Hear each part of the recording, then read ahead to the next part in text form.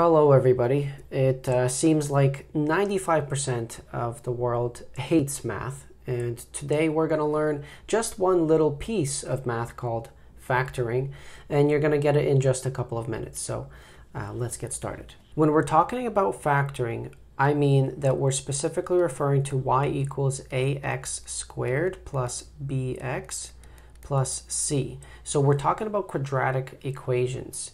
And factoring could apply to many other variations of equations, not strictly into quadratics, but it does specifically come up with quadratics when you're talking about high school math. Let's start off with simple factoring. And here's an example. x squared plus 8x plus 12 is equal to 0. Now, we can apply simple factoring here because a in our case is equal to 1. If there's no number in front of x, that means a is equal to 1. And whenever a is equal to 1, we can apply this simple factoring. So the strategy here is called PSI. P stands for product, that is between a and c. In our case, a is 1 and c is 12. So the answer here would be 12. The sum which would just be b, and b is 8 in our case. And i stands for integers, so that would be two numbers that would multiply to p, so the product, that would multiply to 12, and they would add together to make 8. So in our case, that would be 6 and 2. 6 times 2 is 12, and 6 plus 2 is 8. And therefore, we're going to just complete the factoring x plus 6, we're going to put them in brackets, times x plus 2 equals 0. And that is in factor form. Let's take a look at another example. 2h squared plus 18h plus 36 is equal to 0. Well, in this case, it kind of looks like a does not equal 1. However, we can factor out a 2 from all the terms and make that happen. So if we factor out a 2, we're going to have 2 bracket h squared plus 9h plus 18 equals to 0. Now if we look at inside the brackets, a is 1 right here since it's not there. So what we're going to do is do simple factoring 2 inside the bracket. So let's do p s i. P in this case will be 18, S is 9, and the integers must be 6 and 3. 6 times 3 is 18, 6 plus 3 is 9. So we got 2 with h plus 6 times h plus 3 equals to 0. And you can expand this and do FOIL if you want to verify that that's what it equals. Next, we're going to factor by grouping. Here's an example. 3x squared plus 28x plus 9 will equal to 0. Now, in this case, clearly a does not equal 1. Instead, a is actually equal to 3. So, and we cannot factor it out since 28 doesn't divide by 3. So what do we do in this case? Well, uh, we're going to start our PSI, and here, P is going to be 3 times 9 since it's A times C. And 3 times 9 will be 27. And S will be B, which is 28. And our integers must be 27 and 1, since 27 times 1 is 27, but 27 plus 1 is 28. So instead of uh, writing down the answer like we did with simple factoring, here we're going to split the middle term. So we're going to have 27x plus x plus 9 is equal to 0. We have effectively split 28x into 27x plus 1x. Next, we're going to put our terms in brackets, 3x squared plus 27x plus x plus 9 and we're going to factor out whatever's in the brackets. x plus 9, nothing to factor out, nothing common between these two, but we have 3x that's common between these two terms. So 3x is factored out, and we're left with x plus 9, and here's another x plus 9. So what happens here is that now we're going to group the like terms. So essentially, the 3x plus 1, since this is a 1 here, and we're going to have an x plus 9, which is equal to 0. And that would be uh, in factored form. And if you're going to be looking for your x values, all you have to do is set them to 0.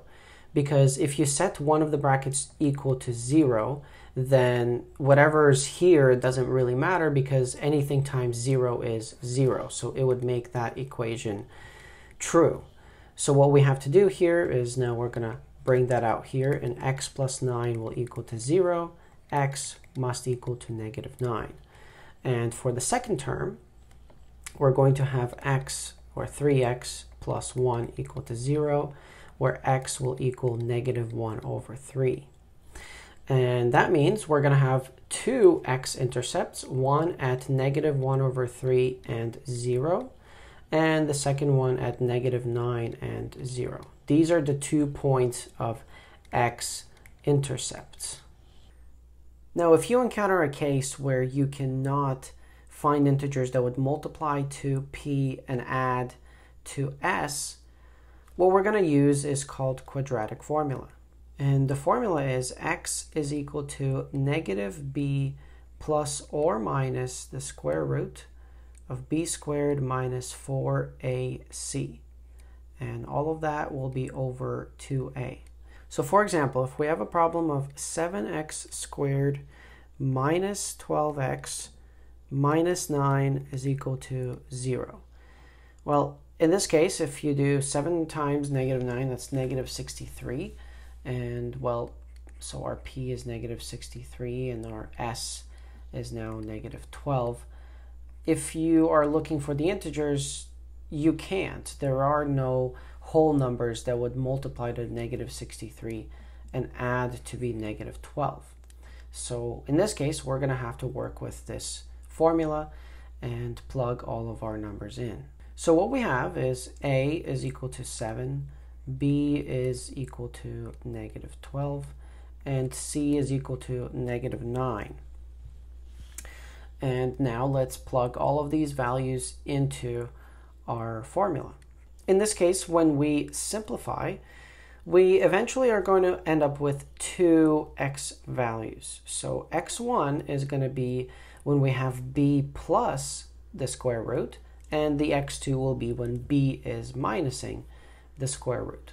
So negative times negative 12 is going to be just positive 12 plus the square root of 396, if we simplify what's under the square root, over 14. Now for x2, we're going to have 12 minus the square root of 396 over 14. And the answer that we get for x1 is going to be rounded to about 2.28. And the answer we get for x2 will be rounded to about negative 0.56. So in terms of our x-intercepts, the coordinates are going to be 2.28 and 0, and negative 0.56 and 0. You may encounter certain special cases. So here's the first one. If we have a squared minus 2ab plus b squared, it is going to equal a minus b squared. And we can use that just to make our life a little bit simpler. For example, if we have 16x squared minus 40x plus 25, you may notice that you can square root both the ends, so here and here. And once you do square root them and you multiply those two together and multiply them by 2, it's going to end up with 40x. So if you can recognize that, then our answer will then be 4x minus 5 squared. Since 4x is going to be the square root of 16x squared, and 5 is the square root of 25. And if you think this is magic, uh, we can just go ahead and expand this and see if we arrive at the same conclusion. For this case, we're going to have to FOIL. So 4x times 4x is 16x squared minus 20x minus 20x plus 25. And our answer, 16x squared minus 40x plus 25. So bingo, we get what we started with. Another example is a squared plus 2ab plus b squared. So just the sign change, and that is going to result in a plus b squared instead of a minus b squared. So here's an example of that. If we have x squared plus 10x plus 25, what we would end up with is basically two integers that would, uh, 5 times 5 would be 25, and 5 plus 5 is 10, which is weird. So uh, we could have done this with simple factoring, but this still applies. And our answer would have to be x plus 5 squared. Now, if you expand this and you do your FOIL, you'll find that you will arrive at the same place that you started. The next special case, which isn't uh, very special because it comes up pretty often, would be a squared minus b squared. And the answer for this one is going to be a minus b times a plus b. So if we have an example of 20x squared minus 125, well, over here you probably recognize that you cannot square root to 20. However, and you also can't square root of 125. So what we can do is factor out a 5 first. So 5 is factored out. We end up with 4x squared minus 25. Aha, well, now I can square root 4x squared, and I can square root 25. So this would apply to our bracket. So we end up with 5 bracket a minus b, which would be 2x minus 5 and 2x plus 5. And if you again expand this, you'll see that you arrive at the same conclusion. Here's another special case, but you're not going to see this one as often, but I figured it is important to include it anyway, which would be a cubed minus b cubed, and the answer would be a minus b, and then a squared plus ab plus b squared. And here's an example of that. So if we have 27x cubed minus 8, our a is going to be 3x, and our b, in this case, will be 2. So if we put that as part of our solution, it will be 3x minus 2 times, and 3x squared is now 9x squared, plus ab is 6x plus b squared is 4. And here's another one, a cubed plus b cubed.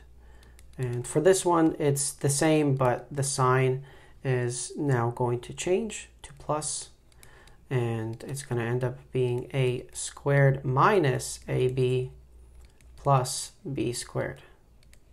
Here's just a basic example of x cubed plus 125 and for us, A is going to be X, and B is going to be 5. 5 times 5 times 5 is 125. So our answer now will be x plus 5 and x squared minus 5x plus 25. Now, how about something like this? If we have x plus 1 squared minus 16. Well, again, something to recognize here is that we have a squared and another squared term because if I square root a 16, I'm going to get a 4. So effectively, we have a that's equal to an x plus 1, and we have a b that is equal to 4. And that is just an a minus b, uh, a squared minus b squared scenario. So if we have that scenario, we know how to deal with it because we know the rules. And that's essentially going to end up being a minus 4 times a plus 4. And in that case, if we just substitute the x plus 1, uh, then we're going to end up with x plus 1 minus 4, close the big brackets, and x plus 1 plus 4. And so if we open all that up, we're going to end up with x plus 1 minus 4 is going to be x minus 3. And in this bracket, we're going to get x plus 5. And that would be the answer. And here's another fun one. 2x minus 1 squared minus x plus 2 squared.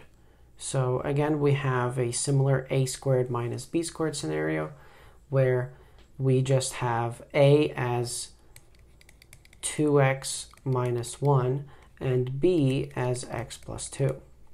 So if we use our rule, we're going to end up with a minus b times a plus b. And in this case, we can just substitute all of that in. We open all the brackets. We end up with 2x minus 1 minus x plus 2. The reason I put a minus 2 here is because the negative acts like a multiplier. So you're going to multiply each of the terms inside in order to change their signs. As you can see, the x from went from positive to negative, and the positive 2 went to negative 2. Now, if we combine like terms, 2x minus x is just x. Negative 1 minus 2 is minus 3. And on this side, we have 2x plus x, which makes it 3x. Negative 1 plus 2 will be plus 1. So this will conclude our video for today.